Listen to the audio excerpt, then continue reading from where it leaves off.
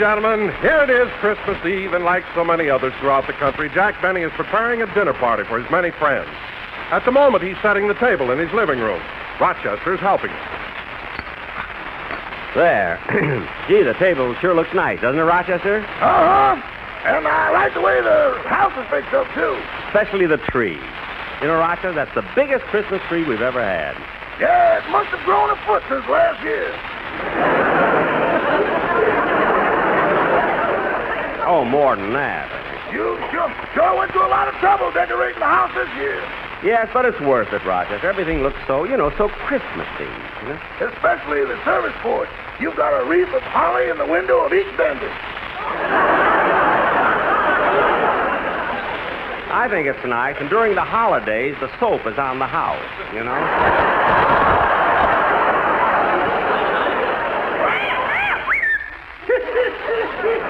Boss, you haven't missed a thing. You even got a little sprig of holly in Polly's cage. Uh huh. Hello, Polly. Hello, hello. Come on, Polly. What did Daddy teach you to say tonight when the people come in? Mary, Mary, Come on, come on, the rest of it. uh, Mary, Mary, Mary what? Mary Livingstone.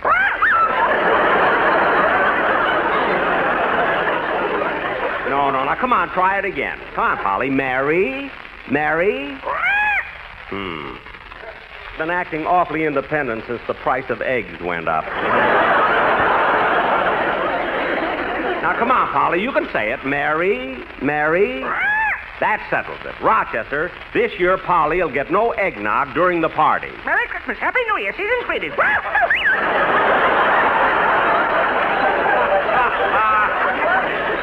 It works every time. You know, she's a sort of a feathered Phil Harris. Uh, by the way, boss, I wonder what's keeping Miss Livingstone. Well, she said she'd come over and help us. She'll probably be here pretty soon.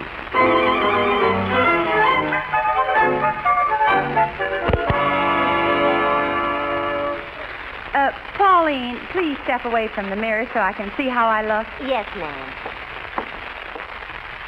Now, let's see. Oh, Miss Livingstone, you look simply beautiful in that evening gown. Oh, thank you, Pauline. But don't you think it may be a little daring for a Christmas Eve party? well, all I can say is that if Santa Claus comes down the chimney, he'll hang around for a while. well, it is sort of low cut. Now, Pauline, when you put away my Christmas presents, I want you to be especially careful with that glass fruit bowl my sister Babe sent me. Why? Is it very valuable? No, it's not expensive, but she blew it herself.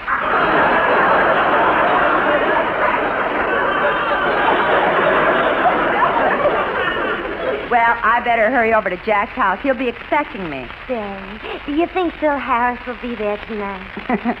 yes, Pauline, you've still got that crush on him, haven't you? Uh-huh. Gee, Miss Livingstone, how I envy you. Sitting at the same table that he'll be under.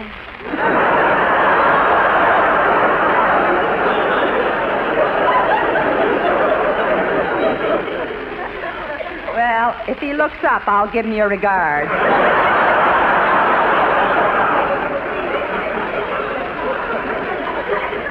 well, I better leave now. Yes, ma'am.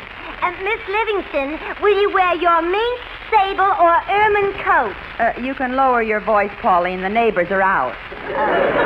so uh, just give me my mackinaw and I'll go. Here you are, and enjoy yourself. The same to you, Pauline, and a Merry Christmas. Merry Christmas.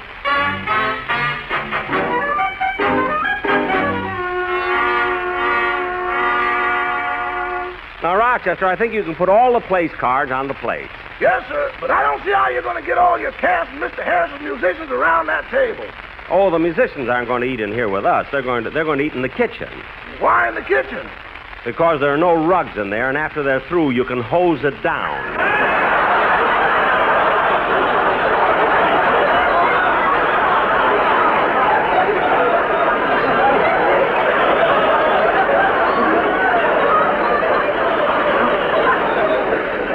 And use uh, use a little sweet air too. Mr. Harris eat with his musicians? No, no, he'll eat in here. And I think we better have Remley in here too. If I put him in the kitchen, it might hurt his feelings. You know, he's so sensitive, you know? Mr. Remley, sensitive? Oh, he is, Rochester. Once during our program, I made a crack about him, and it got him so upset that he dealt the piano player six cards. anyway, I hope they come early. I told Phil not to be late.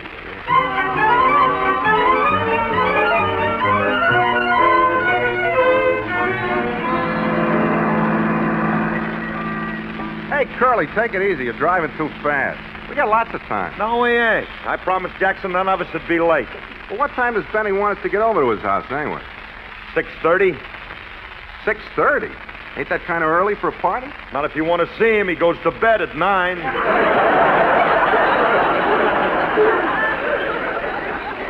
Well, I don't understand what... Hey, Curly. Curly, stop the car. Look at that cute little number standing on the corner. Look, Remley, we're late. I can't... Now, don't worry. Stop the car. Okay. Hey, honey, how would you like a lift? And... Uh-oh, drive on, Curly. What's the matter? Don't ask questions. Just drive on. Well, why? What's the matter? She's my aunt. Oh.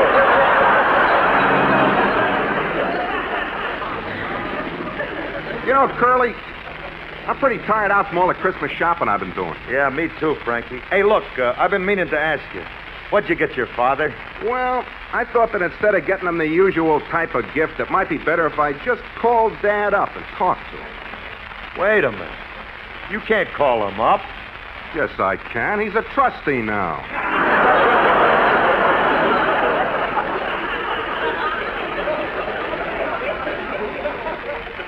Gee, you must be proud of him. Yeah. Now, look, Remley, when we get to Jackson's house, I want you and the other guys to behave. Jackson's still mad because of the way you carried on to his party last New Year's Eve. Is he still upset just because we threw the trumpet player into his swimming pool? Yeah, and tonight, if we can find him, let's fish him out. now, look, Frankie, I'm going to hold you responsible for all the boys tonight, especially Sammy. Oh, Sammy won't be there. He had a tough day at the dentist today. He broke his two front teeth. Again? Remley, I've been telling you guys for years get a bottle opener. Get a bottle. One little bottle opener. Look, I think I'll turn here. This is a shortcut to Jackson's house.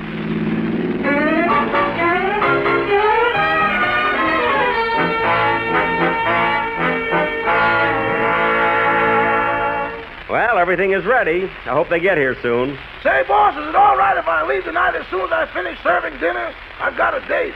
Oh, for heaven's sake, Rochester, why'd you make it tonight? You knew I was having a party. I couldn't help it, boss. Well, couldn't you make it some other night? I can't take that chance. What do you mean, chance? Her boyfriend is a porter on the Super Chief, and I lost the schedule.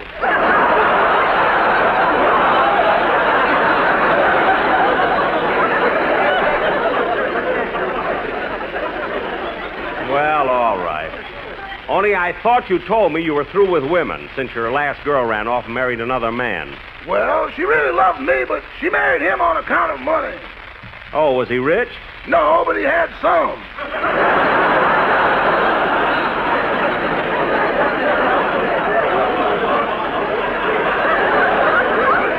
Well, Rochester, I think that I'll answer the door. I just see that there are plenty of ashtrays and luckies around the room. Jingle bells, jingle bells, how the snowflakes drift. I don't know who that is, but I hope they brought a gift. jingle bells, jingle. Oh, hello, Mary. Hello, Jack. I hope I'm not late. No, come on in. Rochester and I were just. Say, hey, that sure is a sensational dress you're wearing. Wow. I know, Jack. I really couldn't afford it, but it was so beautiful I bought it on the installment plan. Really? How many more payments do you have to make before they give you the rest of it? Oh, Jack. Come on, Mary. Let's go in the living room. Hold it, Mary. What's the matter? I got you under the mistletoe. Pucker up. Oh, okay, Jack. You deserve a kiss on Christmas Hey. Eve. Wow. Hey, that was a good one. You know, I like those romantic kisses, you know. I do. I,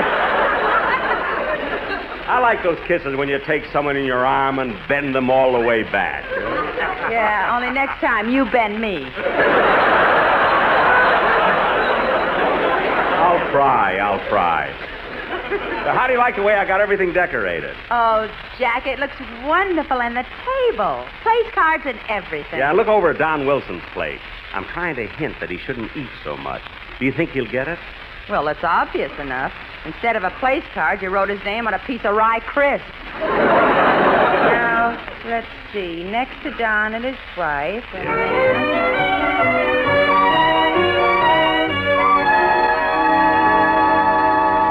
There, that does it, honey. What do you think? Oh, darling, you look so cute. Yeah. Oh, won't Jack be surprised when I come in dressed as Santa Claus? I really look the part, don't I? Yes, Don. Gosh, when I look at you, I feel sorry for all the girls married to skinny fellows. ah, you really love me the way I am, don't you? Mm-hmm. I'll never forget our honeymoon in Hawaii. Oh, it was so divine. Lying there on the beach at Waikiki, watching the moon come up over your stomach. Oh, oh, that must be the Sportsmen Quartet. They're picking us up. I'll tell him we'll be right out. Merry Christmas, fellas. We'll be out in a minute. Merry Christmas to you both, and what a happy day. It makes us feel so very good that we just have to say, Be happy, go lucky, be happy, go lucky, strike, be happy, go lucky, go lucky, strike today. Mr. Benny's dinner parties are a thing to see. His table's fair, but you won't care. There's LSMFT. Be happy, go lucky, be happy, go lucky, strike, be happy, go lucky, go lucky, strike today. Jack is such a perfect host, and he'll play Love in Bloom.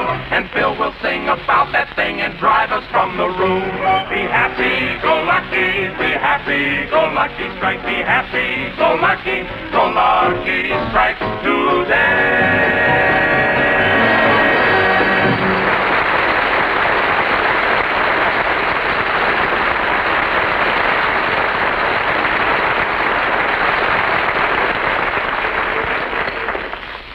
Know, Jack, I've never seen you prepare for a party like you have for this one. Well. Mary, I feel if a thing's worth doing, it's worth doing well. Now, how do you like the way the table is set? Oh, it's beautiful, Jack. Simply beautiful. Only I hope that bottle of ketchup isn't in front of Dennis Day's place. Why, what's wrong with that? Remember last time you put the ketchup in front of him? He picked it up, poured it over his head, and yelled, Look at me, I'm Red Skelton. oh, come on, Jack. Company. Well, all right. Come on, Mary.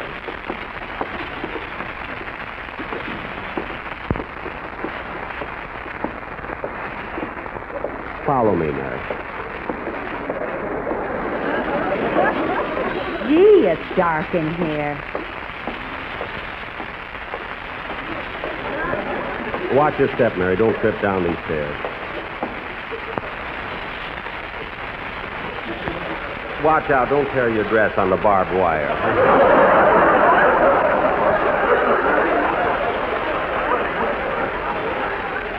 I'll watch it.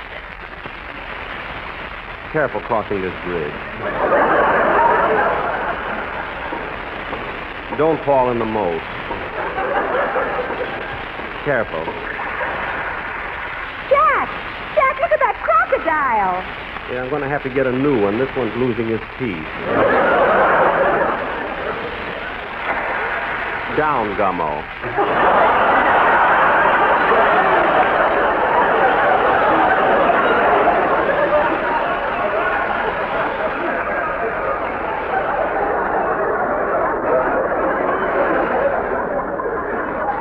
Uh, here we are.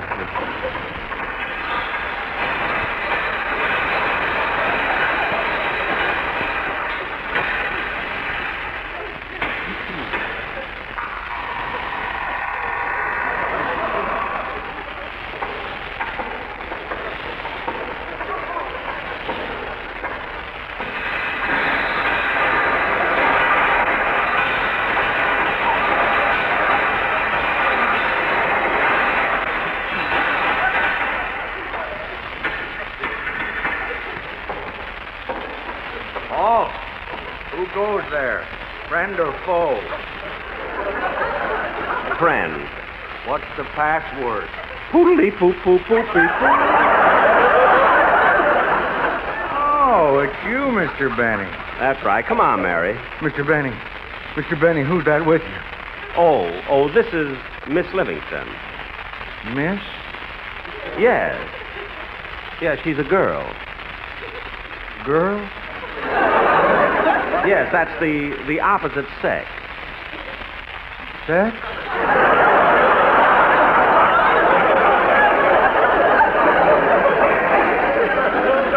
I'll explain it to you some other time. Uh, how have you been, Ed? Fine, fine.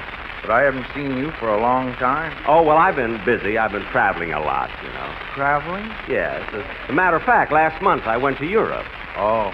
Well, be careful that you don't travel too far, Mr. Benny. You're liable to fall off the edge. No, no, no, Ed. They prove that it's round.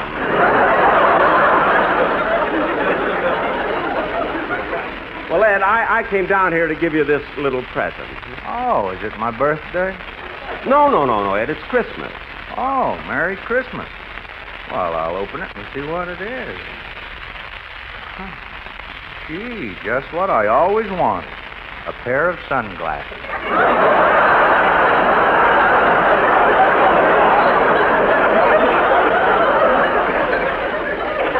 No, no, Ed. They're reading glasses. Thanks a lot. Well, goodbye, Ed. See you again soon. Bye, Mr. Benny. Now, come on. We better get upstairs before the guests arrive. Okay. By the way, who else is going to be at the party besides the cat? I invited the members of the Beverly Hills Beavers Club. Gee, I bet those kids are plenty excited.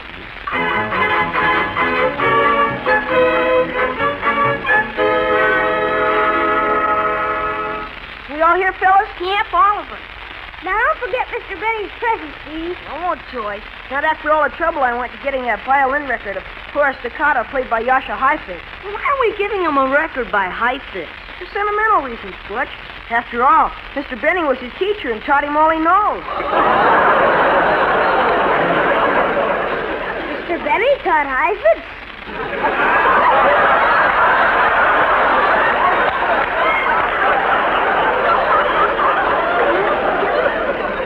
Yeah.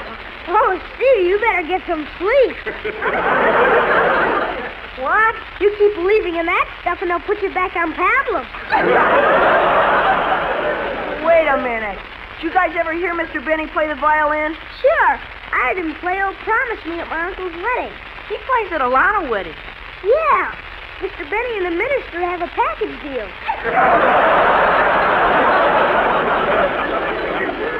Well, never mind that. Now, Joy, you're going to give the record to Mr. Benny. I hope you remember the speech you wrote.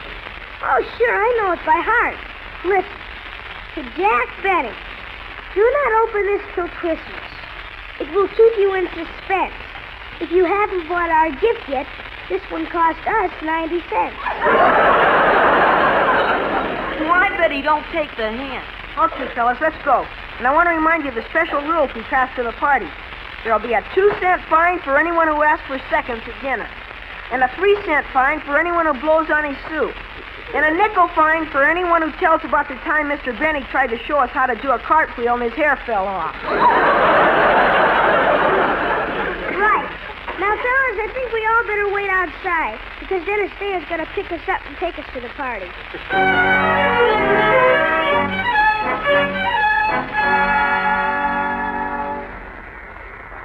Dennis, you better hurry or you'll be late. Oh, I'll be ready soon, Mother. I'm shaving with that new electric razor you gave me for Christmas.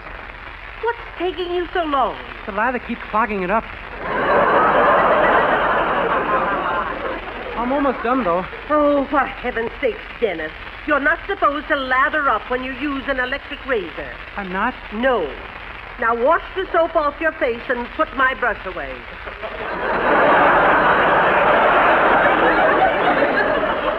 Yes, Mother. Now, son, I want to remind you of a few things to do at the party. Uh-huh. Remember, it will be Christmas Eve. Mr. Benny will be in a good mood. And maybe you can get him to drink a glass of wine and then ask him for a raise. Oh, no, Mother. Last Christmas I tried that, but he beat me to it. What do you mean? He made me drink the wine and I took a cut.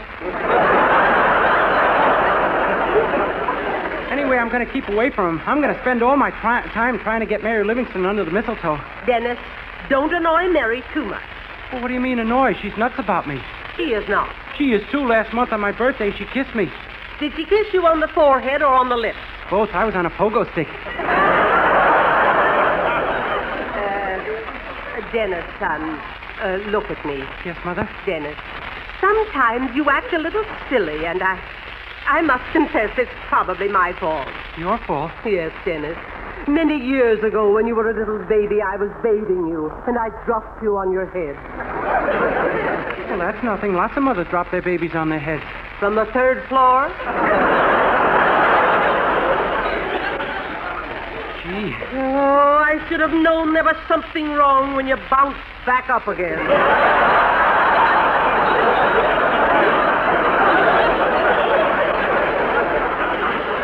Yeah. Well, Mother, I'm all dressed. I wish you'd change your mind and come to the party with me. Oh, I'd rather not, son. I, I don't think it would be right. Mr. Benny isn't expecting me. Oh, yes, he is. I told him I was bringing you when I bought the tickets. Oh, well, in that case. In that case, I'll go.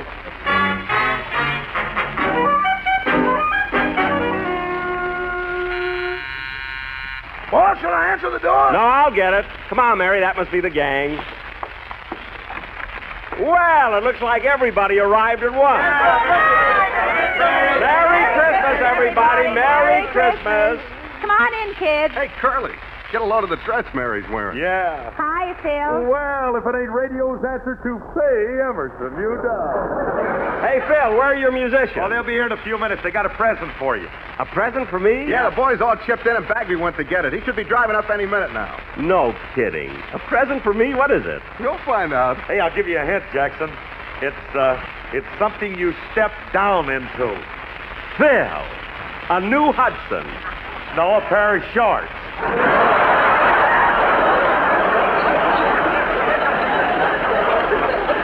Well, they're nice, too. Now, come on, kids. Let's. Oh, Mr. Benny, I've got you under the mistletoe. Oh, Mrs. Day, now please stop pushing me. Now you have to kiss me. Now, please, Mrs. Day. He's hacking up and Mommy's getting away. Oh, go on, Jack. Kiss Mrs. Day. Mr. Benny. Oh, please, Mrs. Day, look, his face is turning blue. All right, Mrs. A. All right, close your eyes. There. How was that for a kiss? Kiss. I thought I tripped and fell on a wet mouth. Hmm. All right, folks, here are your orders. Merry Christmas, everybody. Merry Christmas. Rocky. Hey, look at me. I'm the mean wooded kid. Well, gee. Put down that behave yourself. Hey, hiya, Polly. Get out of here with that. And don't come back no more. Isn't she cute? Now look, kids. Merry Christmas to everybody. Merry Christmas. What's the matter with Don? He's stuck in the chimney again. Oh. Well, we'll get him out later. Hey, Jack, how about serving the grub? Yeah, how about Yeah. Just a minute, kids. Wait a minute. Now hold it, hold it, hold it. Just a minute. Now look, everybody, quiet, quiet, please. I want to say something. Now, kids, this is Christmas Eve. Before we sit down to eat, I think we should all gather around the piano while Dennis sings a medley of Christmas songs. On behalf of my sponsor and my entire staff, I want to wish each and every one of you a very, very Merry Christmas.